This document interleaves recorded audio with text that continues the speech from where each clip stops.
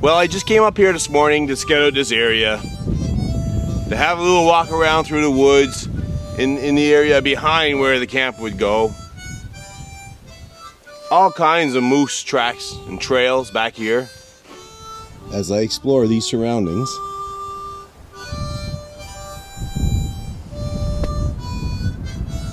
It has become very apparent that the moose like this area as well. Okay, you guys uh, be the judge. How's the moose sign here?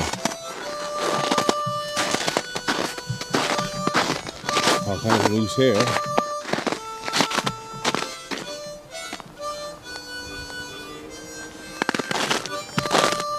All kinds of moose here.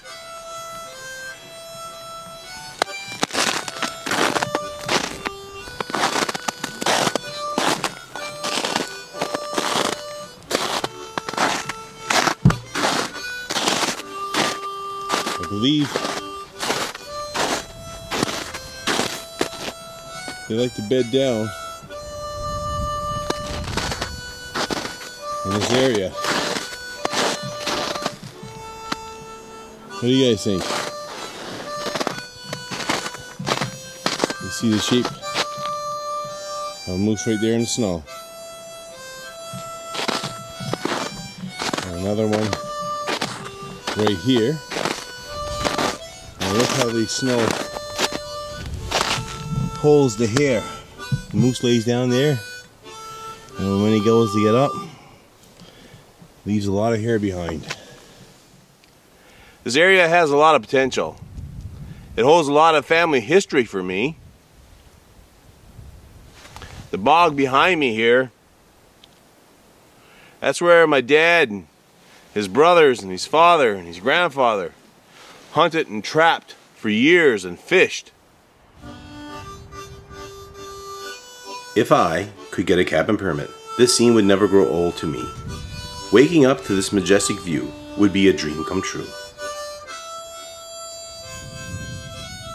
If I look hard enough, I'm sure I can see my ancestors walking on the bogs below, etching their everlasting footprints upon the land, ensuring their presence would always be felt here to those who knew where to look.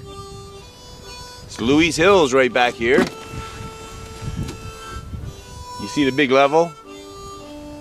Big level canyon. Cache Valley, Cache. Rabbit Hill up and behind the big level. And just at the base of the hill over there, it's just a short ride up here on uh, quad or side by side, whatever, is Fox Island River, full of salmon in the fall, or sorry, in in the summer. And this whole area down behind me is a phenomenal spot for spotting moose in the fall. So how deep is the snow, you're wondering?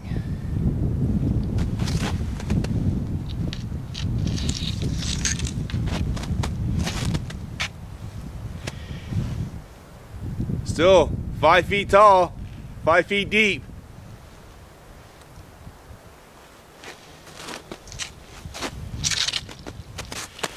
The boys will be skidooing here in May. All kinds of fresh moose sign here today.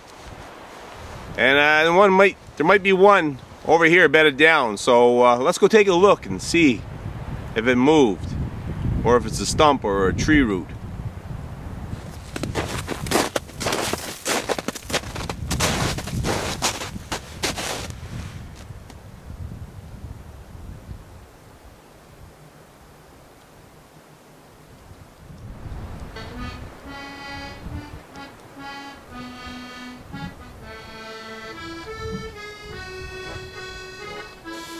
Well, I'm trying to figure out if that's the moose down there that's bedded down. I can't really tell.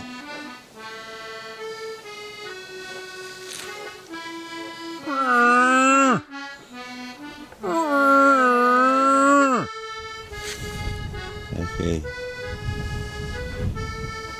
I switched over to manual mode to hope, hopefully get a little bit more zoom out of this camera.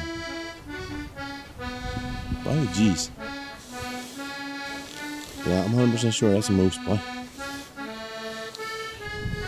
Yes, that's a moose. Gotta be a moose. Can't wait to get this video back and check it out when I get home. Let's bed it down there across this little bog here. Watch, I'll show you. This little bog. Well, hopefully one day, be right in front of my cabin. Sometimes your mind can play tricks on you, and you can waste a lot of time watching tree roots, stumps, dark shadows, thinking it's moose. And sometimes moose can look like dark shadows, or tree roots, or tree stumps. I'm after seeing a lot of moose from right here. I hope that's a sign of things to come. Sometimes I can swear I see a little bit of head movement or something. It's hard to hold steady at that distance. Well, oh, there's no doubt in my mind. That's got to be a moose. I got to show you this tree. Triplets. But check this out. We go right up here. We find this this big limb right there. That guy there. Let's follow him down.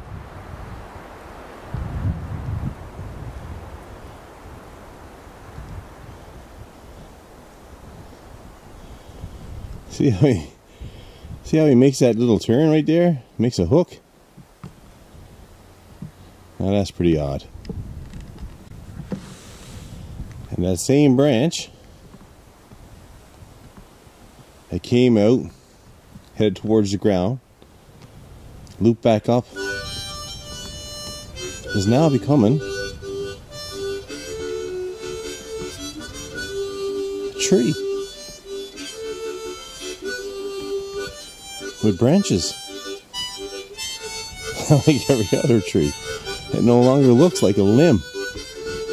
I was to videotape just that, you'd swear it was a tree.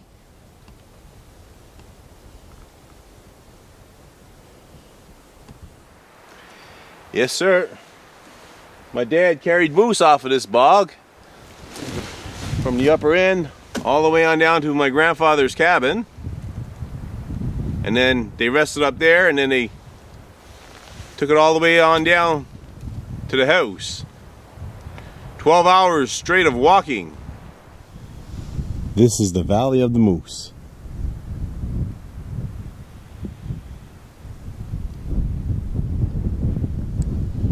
There's always moose in this valley. This is an amazing land. Dry ground here on one side of the hill, and four or five feet of snow on the other. After a long, hard ride on Skidoo in the country, a fellow should take the time and soak up this, the scenery here. And maybe even have a nice afternoon nap.